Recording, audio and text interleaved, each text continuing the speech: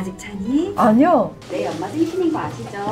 혹시 바빠서 깜빡했을까봐 문자했어요. 에이, 설마요. 사린이 많이 먹어라. 언니 이거 유통기한이 지났는데. 아유 냉동실에 얼려둔 거라 괜찮아. 네?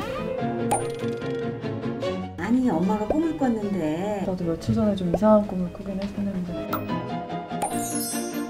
너 설마 예상치 못하게 찾아온 소식과 함께 나의 며느라기 2라운드는 그렇게 시작되었다. 너무 반갑고요. 다시 뵙게 돼서 저는 대본을 보면서 많이 울었어요. 감동을 받으실 거예요. 아 정말 내일 같네. 좀 더 예민하고 불편한 얘기로 진해진 뚝배기 같은 어떤 시즌 2가 될 것 같습니다. 음, 너무 재밌다.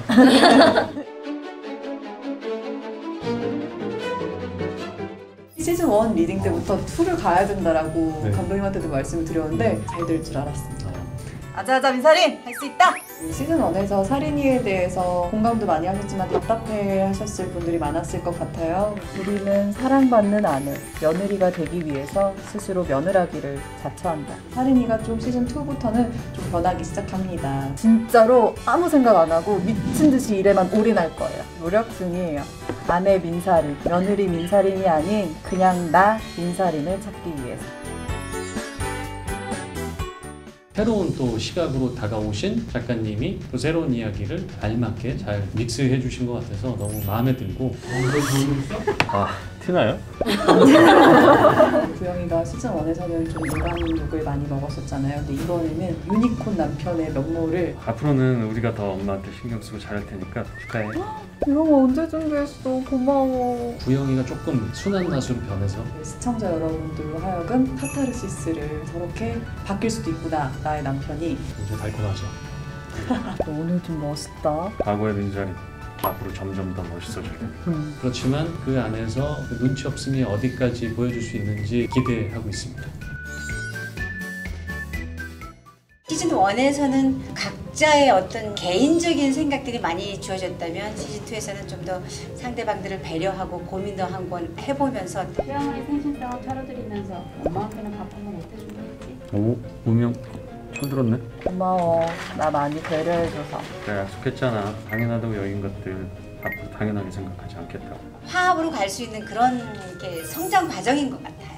그래도 부모라고 지들끼리 챙겨 먹이네. 그래서 엄마도 지금 내 밥부터 걱정하잖아. 엄마 듣기. 애가 아프다는데 그래서 애는 엄마가 키워야 하는 거야. 우리 씨는 어머님이 키우셨는데 맨날 아프다고 신경쓰고 많이 공감할 수 있게. 더. 나도 최선 다하고 있거든. 우리가 낳은 아이한테 최선을 다하는 거 그거 당연한 거야. 속상하게 왜 그래요? 저거 당장 내 집에서 내보내. 하지만 항상 늘 인생은 새로운 문제들이 저희 곁에서 기다리고 있다는 점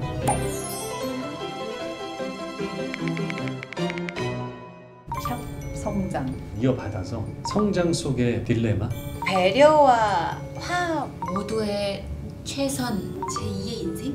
우리가 예상하지 못한 일들이 많이 벌어지고 성장했다고 생각한 사람들끼리도 또 부딪히게 돼요. 그 현실 속에서 어쩔 수 없이 그 현실과 타협을 하고 싸워나가는 모습들이 아주 재밌는 지점으로 또 포인트가 될 것 같고 조금씩 양보하면서 어, 이해가는 과정을 보여주는 거라서 좀 배려와 화합.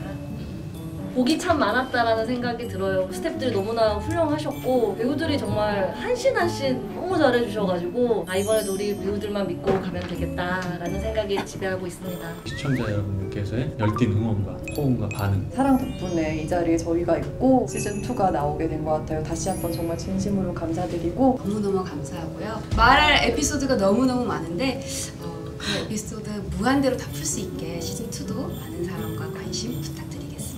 세월이 흘러가면서 같이 늙어갔으면 좋겠어요. 이야기도 모르겠고. 또 많은 관심과 시청 부탁드립니다. 즐거운 상상 채널 S